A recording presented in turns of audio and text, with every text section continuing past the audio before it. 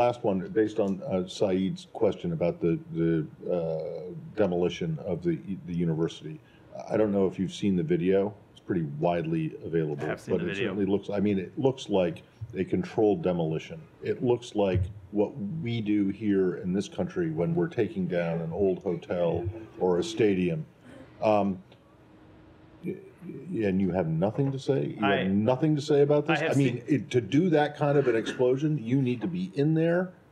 You have to put the explosives down, and it takes a lot of planning and preparation to do. And if there was a threat from this particular facility, uh, they wouldn't have been able to do it. So I have seen the video. Uh, I can tell you that it is something we uh, are raising with the governor of Israel, as we do often do uh, when we Well, see raising as when, what? when, Like- when we see to to ask questions and and and find out what the underlying situation is, as we often do when we see reports of this nature.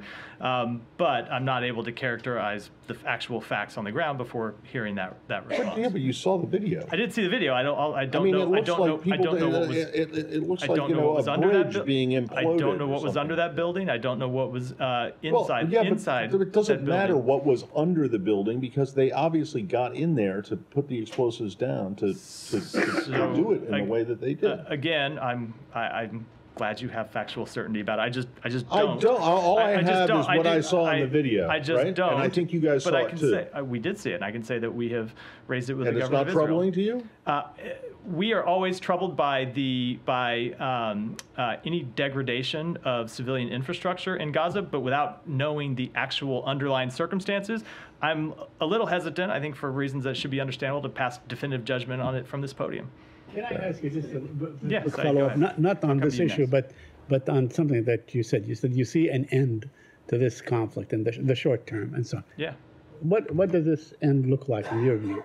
So we believe that there are military goals that are achievable for the government of Israel, but to get into the point I was making, that ultimately uh, there also needs to be a political resolution, and there needs to be a political path towards statehood for the Palestinian people. I understand, Period. but, but this, this conflict, I mean, how will it end? How is it going to end? I did You not know, bring my crystal ball today, Right. So I'm afraid I'm not going to offer you- any, any but- predictions. But But, you've, become but, quite an but I- expert at the. at what's the- that? And I'm saying you guys have a great deal of expertise uh, that basically can give you sort of a direction on how this is going to end uh, at one point, whether it's next month or in two months or whatever. So I'm not, I am not going to make predictions about it, but we do believe that this conflict, as all conflicts do, will end at some point, and that there needs to be a political path forward for the establishment of a Palestinian state. That is the only way, not just to answer the legitimate hopes, dreams, aspirations of the Palestinian people, but it is also, and this is critical, the only way to provide lasting security for the Israeli people.